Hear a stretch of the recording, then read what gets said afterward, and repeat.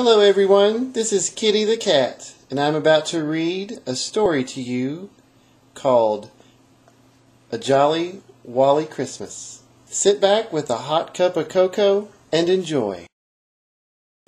'Twas the night before Christmas, and Wally was excited for what was to happen that night. For he had a plan to meet Santa Claus, I wanted to white. he thought. So when everyone was in bed, Wally got in a box labeled To Santa Claus. He waited and waited until midnight. Ding went the big grand clock. Then there was a jolly sound throughout the house. Ho, ho, ho, he heard outside the box.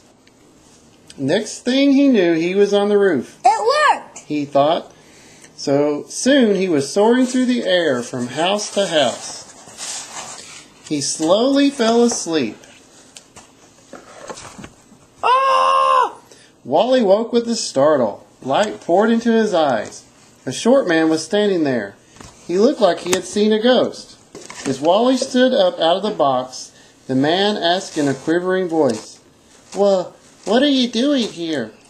As Wally started to explain his presence, a loud voice came from behind the small man. What seems to be the matter? asked the kind voice. I, I found this walrus in this box. It was quite the scare, the small man said. I'll take care of it. No need to worry, the kind voice replied as it stepped in front of the tiny man. Could it be? It was! Santa!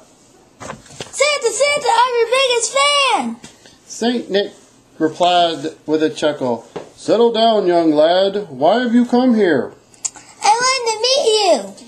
Said the hyper walrus. For Christmas, you give me blah, blah, blah,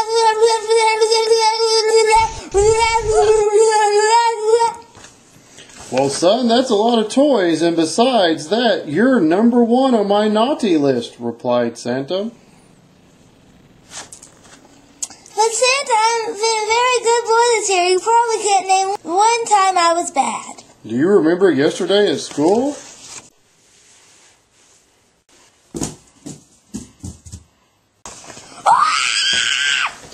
Wally was ready to do anything for his presents. He started to attack Santa.